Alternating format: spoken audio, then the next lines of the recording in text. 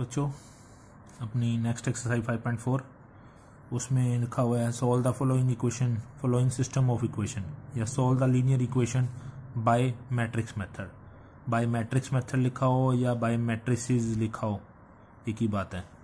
इनको आपने उस तरह से सॉल्व नहीं करना, ये नीचे इक्वेशन दे रखी है। इनको ऐसे नहीं सॉल्व करना जैसे आप टेंथ क्लास में सॉल्व करते आ रहे हैं linear equation by elimination method लगा के। ठीक है ना? वैसे नहीं सॉल्व करना। और इस एक्सरसाइज का सम सिक्स मार्क्स का आता ही आता है पेपर में, ज़रूर, चाहे वो L C B S E हो, चाहे हरियाणा बोर्ड हो, ठीक है? अब ये इक्वेशनों को कैसे लिखना है आपने? वी कैन राइट हम इन इक्वेशनों को किस तरह से लिख सकते हैं? We can write these equation in the form of A X equal to B आप इनको A X equal to B form में लिख सकते हैं। अब ये ए कौन है?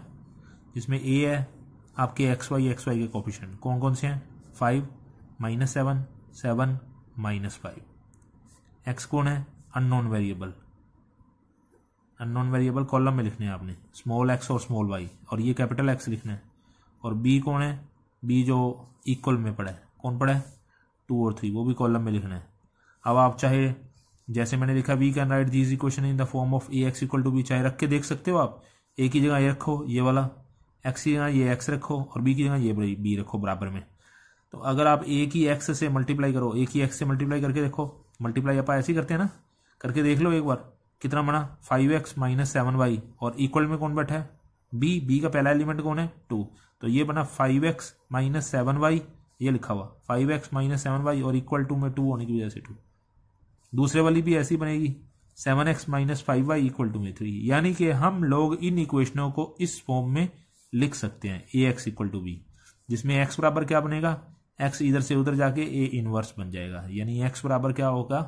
A inverse B A inverse आपने आगे ही रखना, पीछे नहीं रखना। कारण है उसका, जब कोई चीज़ आगे से हटानी है तो प्री मल्टीप्लाई बाय करके, जब पीछे से हटानी होती है तो पोस्ट मल्टीप्लाई करके। Post multiply by A inverse अब आपने आगे से ए हटाना है तो pre multiply by A inverse लगाया तो इसलिए उधर भी प्री ये कुछ करके नहीं दिखाने की ज़रूरत, बस सीधा X equal to A inverse B लिख दो। अब आपको एक्स वाई की वैल्यू निकालने के लिए कैपिटल एक्स निकालना पड़ेगा और कैपिटल एक्स किसके बराबर है? ए इनवर्स इंटू बी के। Because capital X is equal to A inverse B है तो अब आप सबसे पहले ए इनवर्स निकालोगे। ए इनवर्स निकालने के लिए क्या करोगे? एट जॉइंट बाय डिटर्मिनेंट अगर determinant not equal to zero है तो आप सबसे पहले डिटर्मिनेंट चेक कर लेते हैं। डिटर्मिनेंट क्या आएगा? डिटर्मिनेंट अपना ऐसे ही निकलता है। Minus twenty five minus minus plus forty nine जो भी आया ज़ीरो तो नहीं आया ना? Not equal to zero so, system is consistent. Consistent का मतलब होता है सो यूनिक सोल्यूशन कंसिस्टेंट का मतलब उसका कोई ना कोई सोल्यूशन ज़रूर निकलेगा। और यूनिक सोल्यूशन टेंथ क्लास में हमारे तीन तरह के सोल्यूशन हुआ करते थे। एक यूनिक सोल्यूशन होता था, एक नो सोल्यूशन होता था, एक इनफाइनाइट सोल्यूशन होता था। वैसे ही, अब भी ऐसे ही आएँगे। ये अभी दो बताऊँगा आपको, पहले यूनिक सोल्यूशन यूनिक सोल्यूशन कब होगा? जब determinant not equal to zero आएगा। तो आपने ये लिखना है सो सिस्टम हैव कंसिस्टेंट या system is consistent so unique solution अब यूनिक सोल्यूशन आना ही आना है, यानी कि एक्स वाई की एक एक वैल्यू आनी आनी है। अब ए इनवर्स निकालने के लिए हमने डिटर्मिनेंट तो निकाल लिया, अब एडजॉइंट निकाल लो। एडजॉइंट है, सारे को फैक्टर का ट्रांसपोज पहला को फैक्टर ये छोड़ा ये छोड़ा, कितना आया? Minus five minus seven plus seven five ठीक है वो सब निकालना सीख लिया हमने का ट्रांसपोज कितना आया? Minus five seven minus seven, sorry, transpose करेंगे तो ये सेवन फाइव। अब ए इनवर्स निकल आया ए इनवर्स क्या होता है? जॉइंट बाय में डिटर्मिनेंट। डिटर्मिनेंट कितना आया था? Twenty four. Minus five, minus seven seven five. लो जी, ये अपने पास ए इनवर्स आ गया। अब एक्स बराबर किसके पड़ा था? वो पड़ा है एक्स इज़ इक्वल टू तो अपना ए इनवर्स बी था। So X is equal to A inverse B लगा दो। ए इनवर्स की जगह ए इनवर्स लगाओ। One by twenty four. Minus five, minus seven seven five, और इन टू में क्या लगाना है? बी अब बी कहाँ है? वो बी हमारे पास ऊपर पहले से ही पड़ा है। बी आपके पास कितना? टू थ्री जो बराबर वाला था। वो यहाँ पे लगा दिया हमने। टू थ्री लो जी मल्टीप्लाई कर लो और अपना आंसर निकाल लो। कितना आ गया? Minus ten plus twenty one अगला कितना आ गया? Minus fourteen plus fifteen result आ गया ऊपर तो इलेवन और नीचे वन ट्वेंटी फोर को अंदर भेज दो। इलेवन बाई ट्वेंटी फोर और one by twenty four. Answer सब किसके बराबर आया? कैपिटल एक्स के, और कैपिटल एक्स कौन थी? कैपिटल एक्स तो सब किसके बराबर आया? एक्स के। कैपिटल एक्स कौन थी? कैपिटल एक्स तो एक्स वाई थी। वो बड़ी कैपिटल एक्स तो एक्स वाई थी। तो कैपिटल एक्स की जगह हम लोग एक्स वाई लिख सकते हैं, और बराबर में जो आपके आंसर निकला है, क्या निकला है? Eleven by twenty four and one by twenty four. Compare किया तो एक्स की वैल्यू आ गई इलेवन बाई ट्वेंटी फोर और वाई की वैल्यू आ गई one by twenty four. Answer सही है क्या नहीं? चेक करने के लिए, एक बार आप एक्स और वाई की वैल्यू अपनी स्टेटमेंट में डाल के देख लो। एक्स की जगह तो जितना आया है eleven by twenty four y की जगह जितना आया है। अगर उन दोनों को सोल्व करके सामने वाली चीज़ मिलती है तो बिल्कुल सही है। ये अपनी एक्सरसाइज का सम नंबर फ़र्स्ट का फ़र्स्ट पार्ट था, और इसके जैसे आपके लगातार तीन पार्ट हैं। फ़र्स्ट का सेकंड और थर्ड ठीक है? हाँ यस बेटा। फाइव पॉइंट फोर का ही, अब सेकंड सम के ऊपर आ जाओ। सेकंड सम में ये लिखा हुआ which of the following equation are consistent and if consistent then solve ठीक है जी? अब कंसिस्टेंट नहीं होता तो फिर क्या होता है? इनकन्सिस्टेंट होता है। कंसिस्टेंट तो हमने फ़र्स्ट क्वेश्चन में देख ही लिया, वो दोबारा फिर दोबारा करा देते हैं। अगर determinant A not equal to zero हो तो सिस्टम कंसिस्टेंट होता है इनवर्स भी निकलता है यूनिक सोल्यूशन भी आता है। ठीक है? और अगर ये तो हमने फ़र्स्ट क्वेश्चन में कर ही लिया, तीनों पार्ट में हो ही जाना है। अगर आपका डिटर्मिनेंट ज़ीरो आ गया तो इनवर्स तो निकलेगा नहीं। इनवर्स नहीं निकलेगा तो फिर कंसिस्टेंट और इनकंसिस्टेंट चेक करने के लिए आपको एक अनदर वे यूज़ करना पड़ेगा। और वो अनदर वे क्या है? वो है एडजॉइंट ए का मल्टीप्लाई बी से करके देखो। ठीक है, ये कंसिस्टेंट और इनकंसिस्टेंट चेक करने का अलग से एक नया मेथड है, जो आपकी बुक में भी मेंशन है, मैं आपको भेज दूँगा। ये फ़ोटो ही खींच के अलग से रख लेंगे आप एडजॉइंट ए का बी से मल्टीप्लाई करेंगे। एडजॉइंट ए का बी से मल्टीप्लाई करने पर एडजॉइंट ए वही को फैक्टर का ट्रांसपोज करके अगर उसका बी बी कौन? वही जो बराबर वाली मैट्रिक्स है। एडजॉइंट ए का बी से मल्टीप्लाई करके अगर नॉट इक्वल टू ज़ीरो आता है तो इनकंसिस्टेंट नो सोल्यूशन सम खत्म। बस। काम खत्म हो गया। क्योंकि इनकंसिस्टेंट पे तो सॉल्व ही नहीं करना। सॉल्व तो किस पे करना है? अगर कंसिस्टेंट है तो सॉल्व करो। ठीक है? अब अगर एडजॉइंट ए का बी से मल्टीप्लाई चेक करने पर अगर ज़ीरो आ जाता है, तब कंसिस्टेंट होता है। यानी कंसिस्टेंट होने के सम में दो तरीके हो गए। कंसिस्टेंट जब determinant not equal to zero आए, तब भी कंसिस्टेंट है, तब तो यूनिक ही सोल्यूशन है। पर अगर डिटर्मिनेंट ज़ीरो आ जाए, तब उसके दो केस राई हो गए एक तो ये वाला और एक ये वाला। ठीक है? एट जॉइंट है बी से multiply not equal to zero आए तो इनकंसिस्टेंट नो सोल्यूशन सम खत्म। और अगर जॉइंट है का बी से मल्टीप्लाई इक्वल टू ज़ीरो आ जाए तो कंसिस्टेंट बट इनफाइनाइट सोल्यूशन अब इनफाइनाइट सोल्यूशन है तो आगे क्या करना है? सम क्योंकि अपना अभी सिर्फ़ दो ही क्वेश्चनों वाली है, यानी कि अगर सम टू बाई टू वाला है टू इंटू टू ऑर्डर वाली मैट्रिक्स है तो उसमें आपने लेट एक्स या वाई को एक्स या वाई किसी एक को के लेट कर लेना है। चाहे एक्स को लेट कर लो, चाहे वाई को लेट कर लो। अगर वाई की वैल्यू के लेट कर ली तो यूज़ वाई इक्वल टू के इन फ़र्स्ट इक्वेशन में रख दो। आपके पास दो इक्वेशन है, उसमें किसी भी इक्वेशन में रख दो देन वी गेट एक्स तो उससे आपकी एक्स की वैल्यू आ जाएगी। इसका मतलब हमने वाई की जो जो वैल्यू रखती जाएँगे वाई इक्वल टू के है ना, हमने मानना है। चाहे वाई मान लो के चाहे एक्स मान लो के अगर वाई को के मान लिया है तो अगर आप वो एक्स में जाके पहली क्वेश्चन में जाके पुट करोगे तो उससे एक्स की जो वैल्यू आएगी तो इस तरह से हमारे बहुत सारे सोल्यूशन बनते जाएँगे। के की वैल्यू रखते जाओ, बस एक्स की वैल्यू बनती जाएँगी। इसलिए इसको इनफाइनाइट सोल्यूशन बोलते हैं। पर हमने रखनी नहीं है के की वैल्यू बस ऐसे सम छोड़ देना है, ठीक है? ये आंसर इनफाइनाइट सोल्यूशन का अब आपका सेकंड क्वेश्चन में यही काम है। सेकंड क्वेश्चन में ये लिखा हुआ है of the following equation are consistent and if consistent then solve तो अभी तो आपको बेस बताया मैंने। अब सम करने जा रहे हैं हम लोग, ठीक है? सेकंड क्वेश्चन का फ़र्स्ट पार्ट स्टेटमेंट है आपके पास।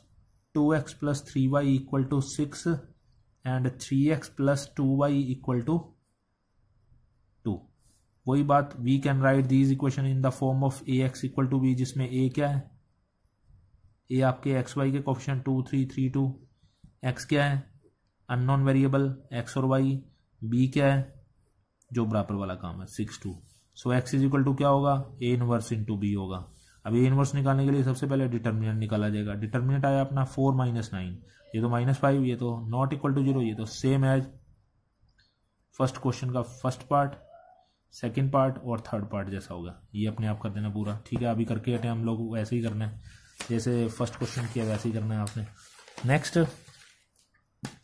सेकेंड का सेकेंड पार्ट उठाते हैं। Three x minus two y equal to कितना है? Five six x and minus four y equal to है हमारे पास two. We can write this equation in the form of A x equal to B जिसमें x जिसमें A क्या है। X Y के coefficient three minus two six minus four x कौन होता है? वही unknown variable x y B कौन होता है? फाइव टू ठीक है? So x is equal to क्या होगा? ए इनवर्स बी होगा। ये आपने सारे सम में करना ही करना है। अब x is equal to A inverse B है तो ए इनवर्स निकालने के लिए हम लोग क्या निकालेंगे? सबसे पहले डिटर्मिनेंट निकालेंगे। डिटर्मिनेंट ऐसे minus twelve minus minus plus twelve आ गया ना ज़ीरो जब determinant not equal to zero है तो inverse does not exist inverse तो निकलेगा नहीं। इनवर्स नहीं निकलेगा तो यूनिक सोल्यूशन भी नहीं होगा। So unique solution not exist unique solution भी नहीं होगा। नहीं होगा तो फिर आपको क्या करना है? So now to check adjoint A into B तो आपको जॉइंट ए का मल्टीप्लाई बी से करना पड़ेगा। अब एट जॉइंट ए निकालने के लिए आपको सारे कोफैक्टर्स निकालने पड़ेंगे, उसका ट्रांसपोज ये छोड़ा ये छोड़ा, कितना आया? माइनस फोर नेक्स्ट आएगा माइनस सिक्स नेक्स्ट आएगा टू और नेक्स्ट आएगा थ्री का ट्रांसपोज कितना आ गया? Minus four minus six two three ये हमारे पास एडजॉइंट ए आ गया, ठीक है? अब एडजॉइंट ए का मल्टीप्लाई तो हमको बी से करना है। इनवर्स तो निकालना नहीं है इनवर्स निकलता ही नहीं है। एडजॉइंट ए का बी से मल्टीप्लाई चेक कर रहे हैं minus four minus six two three multiply with B B कौन है आपके पास? फाइव टू ये मल्टीप्लाई करते हैं, कितना आया? रिज़ल्ट आया minus twenty plus four result कितना आया? अगला माइनस थर्टी प्लस सिक्स पहले टर्म से ही देख के पता चल गया था ज़ीरो तो नहीं आ रहा. नॉट इक्वल टू ज़ीरो ठीक है? और अगर ये नॉट इक्वल टू ज़ीरो है तो हमने पहले बेस में पढ़ ही लिया है कि एडजॉइंट ए का मल्टीप्लाई अगर एडजॉइंट ए का मल्टीप्लाई बी से करने पर नॉट इक्वल टू ज़ीरो आया तो इनकंसिस्टेंट नो सोल्यूशन लिख के सम खत्म। अभी अपना क्या आया? अपना भी तो यही आया है। नॉट इक्वल टू ज़ीरो आया है तो सो एडजॉइंट ए का मल्टीप्लाई बी से करने पर हमारा नॉट इक्वल टू ज़ीरो तो इनकंसिस्टेंट सम खत्म। क्योंकि उसने तो स्पेशल यही बोला है कि अगर कंसिस्टेंट है तो सोल्व करो। बस नो सोल्यूशन सम खत्म हो गया। ठीक है? सेकेंड क्वेश्चन का थर्ड पार्ट एक और करके देखते हैं। Two x plus three y equal to five six x plus nine y equal to fifteen. वही कहानी, बिल्कुल सेम उसी स्टोरी में चलते हैं। A x equal to B जिसमें ए क्या है आपके पास? एक्स वाई के coefficient two three six nine x कौन है? Unknown variable x y B कौन है? बराबर वाला काम कितना? फाइव फिफ्टीन वही x is equal to A inverse B A inverse निकालने के लिए डिटर्मिनेंट चेक किया। डिटर्मिनेंट आया एटीन माइनस एटीन ज़ीरो आ गया। ठीक है? सो नाउ टू चेक वही भी बात लिख देना जो हमने पिछले क्वेश्चन में लिखी थी। क्या लिखा था? अगर determinant not equal to zero आए तो inverse does not exist so unique solution does not exist so now to check adjoint A into B अब एडजॉइंट ए का बी से मल्टीप्लाई करते हैं तो पहले एडजॉइंट ए तो निकाल लें। एडजॉइंट ए कैसे निकलेगा? एडजॉइंट ए सारे को फैक्टर कितना आया nine and minus six minus three two का ट्रांसपोज जैसे nine minus six minus three two ये एडजॉइंट ए आ चुका है, अब एडजॉइंट ए का मल्टीप्लाई हम लोग करने जा रहे हैं किससे? बी से। Nine minus six minus three two multiply B B कौन है? फाइव फिफ्टीन ये भी करके देख लेते हैं। नॉट इक्वल टू ज़ीरो वाला तो देख ही लिया, अब शायद इक्वल टू ज़ीरो ही आ जाए।